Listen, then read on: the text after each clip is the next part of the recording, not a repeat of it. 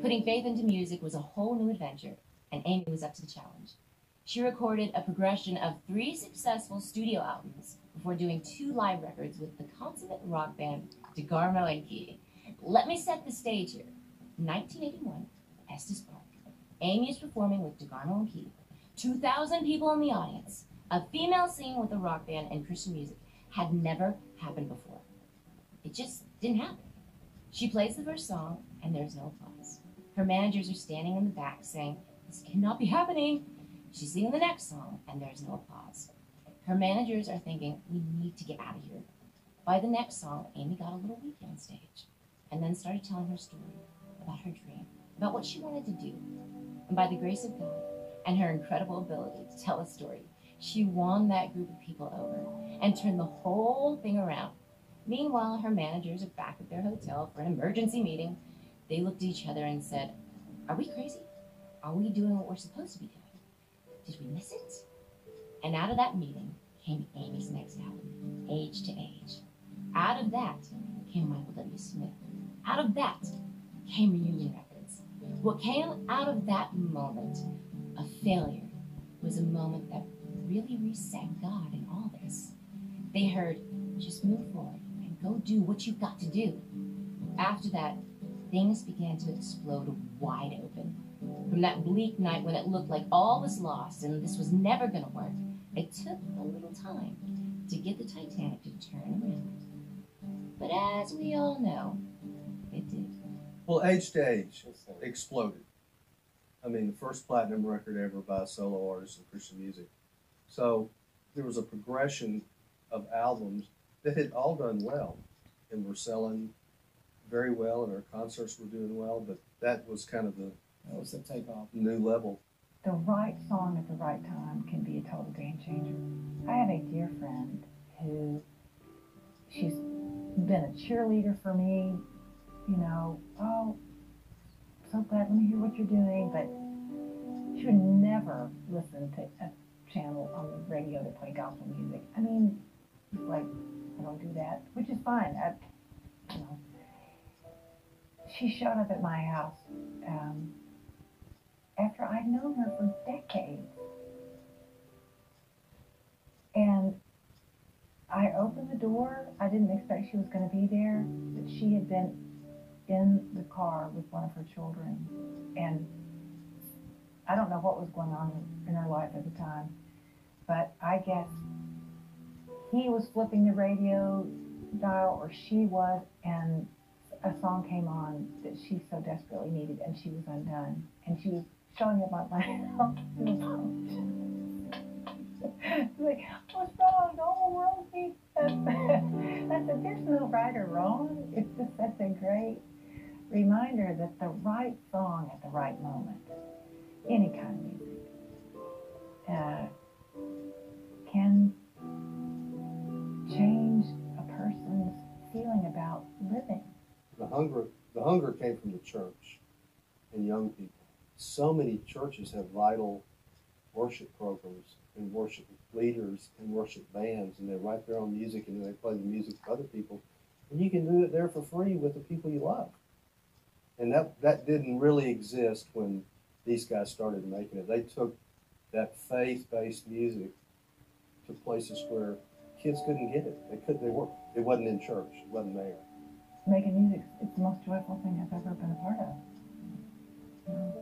And feeling it and going, man, that's great. God is crazy, you know, to love us as messed up as we all are. And go figure that. I just found everywhere I went that, and I still find this, everybody wants to believe that they're loved. You know, we're all desperate for that. And it doesn't matter what lifestyle, how much you have or don't have, um, whether you profess any kind of faith or not. I mean, that's just the human condition. There's nothing quite like my family's love to warm me. And nothing short of death's gonna ever leave me cold. No. Well, still at times it's lonely.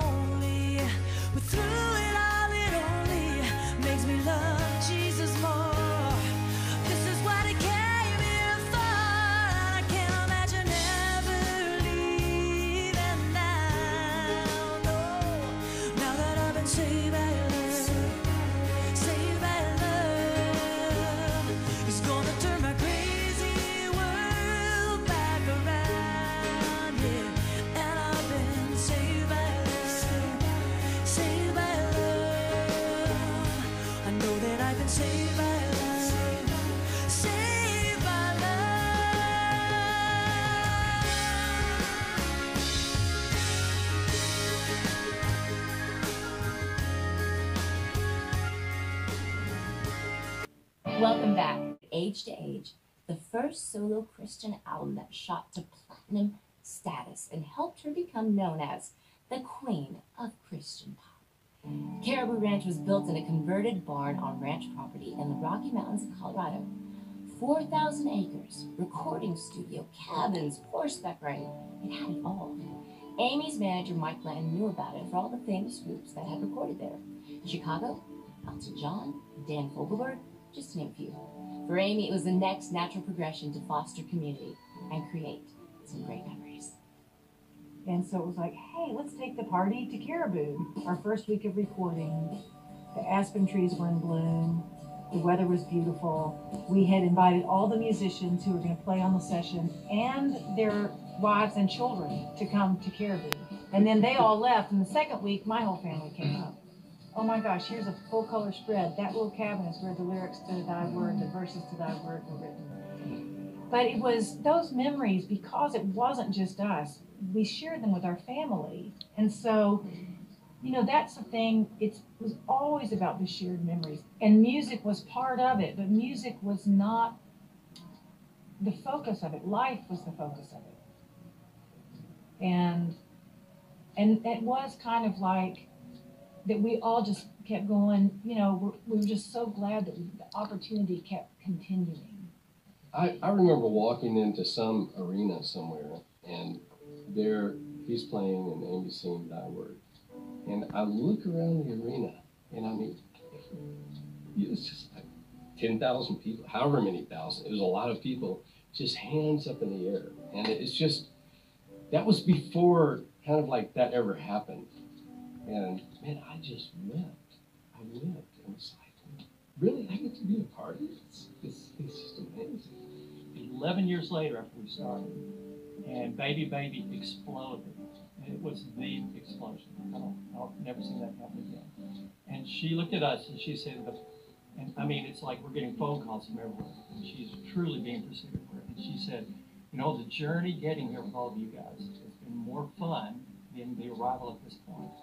As big as this is, that 11 years of getting here has been more, has been more uh, fulfilling. And she summed it up. She basically summed it up for all of us that that really set it off at that moment. You know, the things in life that you really pay attention to, the things, the mantras you say over and over again, or in my case, the songs that you sing, the things you fill your life with do shape your life. And I've just had a, felt a lot of gratitude today because I know that the songs that I have sung didn't make me immune from pain in life or adventure or failure, but they, in the midst of all that, they were an anchor. Not the songs, but the message. And so I'm just feeling a lot of gratitude. Thy word is a lamp unto my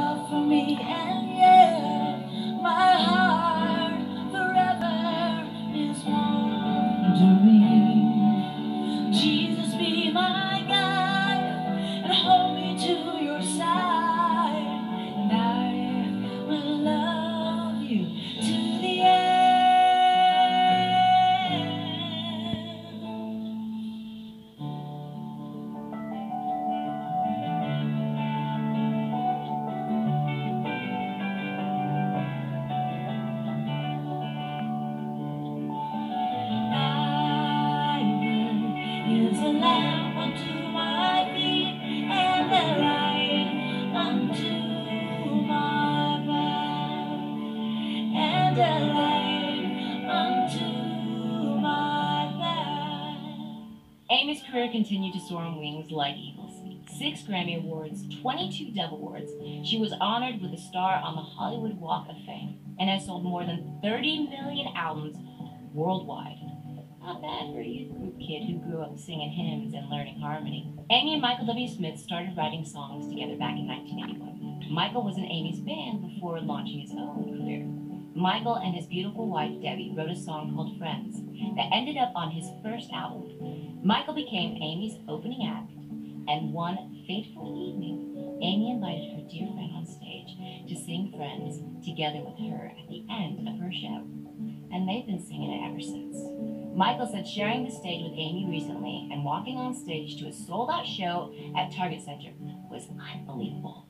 Now, 33 years later, their friendship and the song Friends is still living on. Thank you for joining us. We are friends with God. A lot of friendships in the house tonight.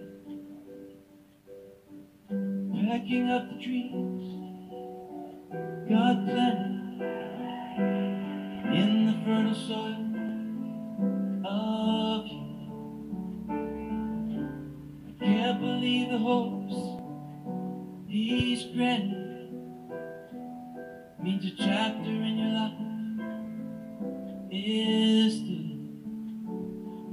keep you close as always. It won't even seem you've gone. Cause our hearts in big and small ways will keep the love that keeps us strong.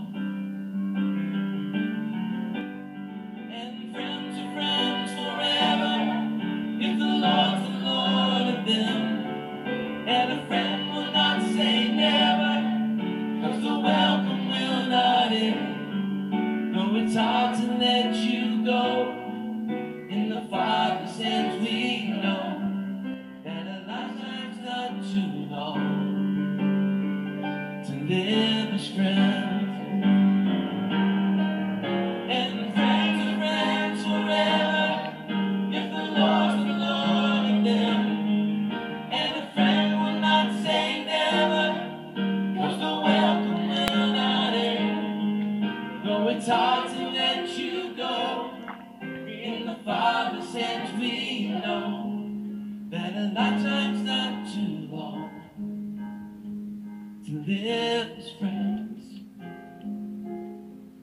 No, a lifetime's not